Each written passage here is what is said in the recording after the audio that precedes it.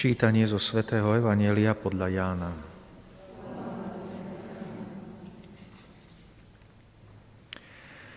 Ježiš povedal svojim učeníkom, pokoj vám zanechávam, svoj pokoj vám dávam. Ale ja vám nedávam, ako svet dáva.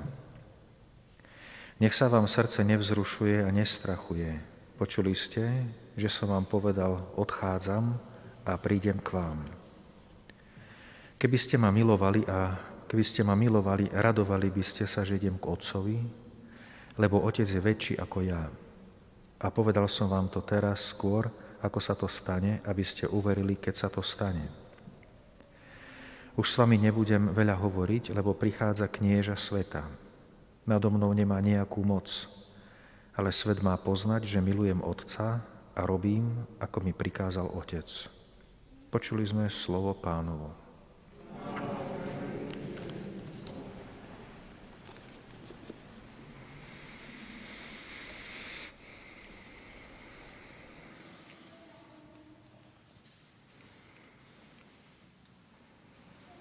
Pán Ježiš viackrát spomína slovo o pokoji, hovorí o synoch pokoja napríklad. Alebo ak sú tam ľudia hodní pokoja, tak váš pokoj spočinie na nich. Dneska hovorí o, o tom, že zanecháva svojim učeníkom pokoj, ale nie taký, ako dáva svet. Svet, to hovoril už kedysi svätý Serafim, že my všetci akoby túžime byť v takej nirváne, aj keď svätý Serafim nevyznával tieto veci, len to tak, on to tak ani nenazval, to len z prednášky o ňom tak vyplynulo, že ako by sme túžili potom, aby sme zostali v nejakom takom nič nedianí a žiadnych problémoch. To ale na tomto svete nejde. Už tým, že sme v tele a vieme, že naše telo reaguje na všetko a náš život tu je obklopený vecami, ktoré sú často prekažkou pre nás, tak musíme cítiť aj nejaký boj. A to nikdy nezaistí to, že budeme cítiť akoby takú nirvánu, že nič sa nedeje, všetko je stále v takom kľude. Nedá sa to. Preto aj Ježiš hovorí, že ja vám nedávam taký pokoj ako svet. Čiže svet dáva taký pokoj pravdepodobne, keď napríklad niekto bol mocný. Mal moc nad všetkým, všetkých porazil, nad všetkými vládol, všetci ho chránili okolo neho, tak sa cítil v bezpečí. Iba zdanlivo samozrejme, lebo to trvá istá, iba istý čas. Alebo si ľudia vydýchli možno, tak ako keď pozeráte, ako lovia levy, lovia v stádach gazel alebo e, zebier a tak ďalej.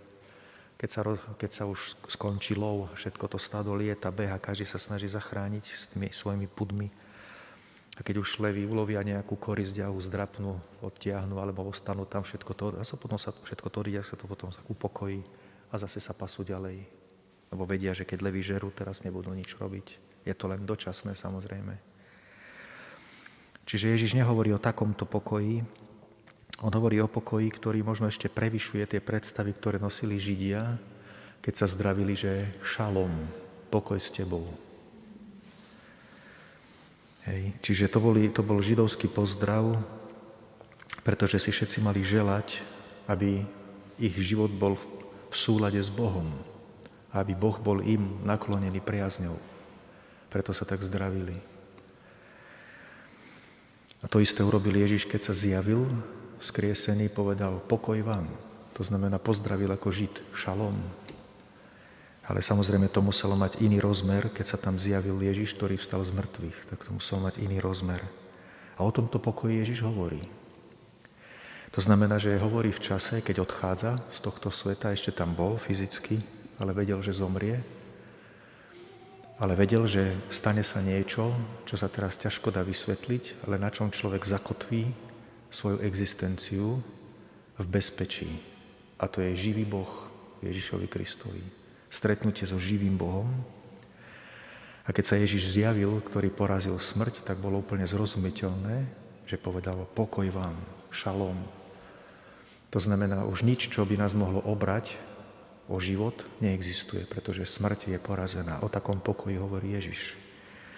Čiže to je pokoj, ktorý prevyšuje každú ľudskú chápavosť, hovorí na jednom mieste svätý Pavol. Hovorí, že nech Kristus prebýva vo vašom srdci skrze vieru, hovorí svätý Pavol.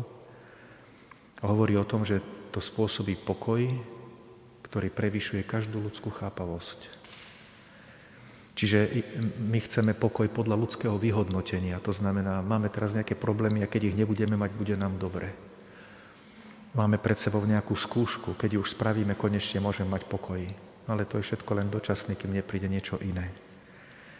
Ale Ježiš hovorí o tom, čo prevyšuje ľudskú chápavosť, bez ohľadu na to, či máme skúšku, alebo dve, alebo desať, alebo celý život pre nasledovanie tak Ježiš zaručuje niečo, čo prevyšuje túto ľudskú chápavosť. A preto naša viera sa netýka len vecí, ktoré vidíme očami. Neriešime veci, ktoré len vidíme. To znamená, nedávame Bohu len návrhy, že Bože, toto by si mohol riešiť, lebo to mi vadí. Toto by si mohol urobiť, lebo toto ma sužuje. Toto by si mohol zariadiť, lebo toto mi chýba.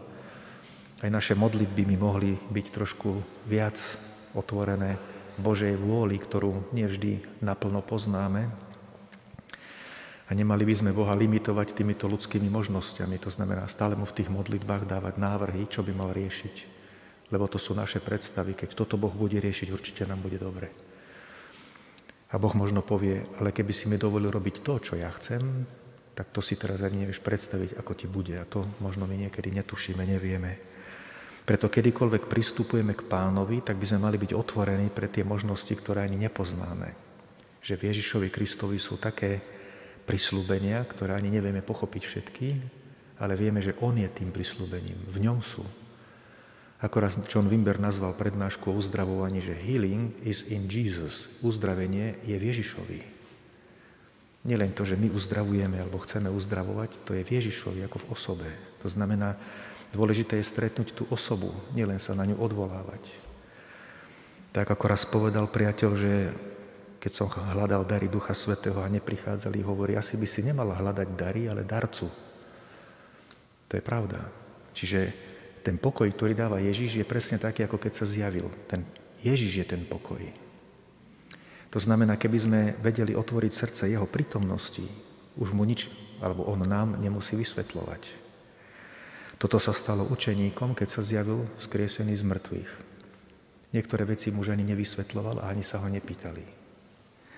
Čiže to je pokoj, ktorý prevyšuje každú ľudskú chápavosť a preto Ježiš povie, že dávam vám pokoj, ale nie taký ako svet.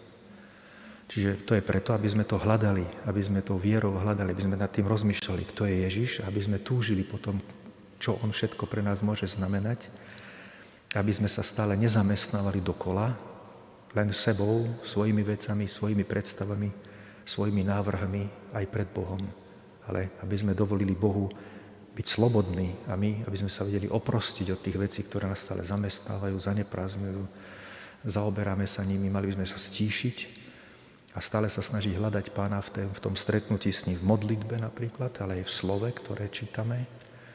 Mali by sme stále vedieť, že v tom slove sú veci, ktoré my síce čítame, ale nerozumieme srdcom a Duch Svetý môže dávať porozumenie a keď veci rozumieme z Ducha Svetého, vtedy sa otvára naše srdce pre Neho Takže skúšame stále ísť za tými prislúbeniami, ktoré, ktorými je pre nás Ježiš. On je zdroj tých prislúbení.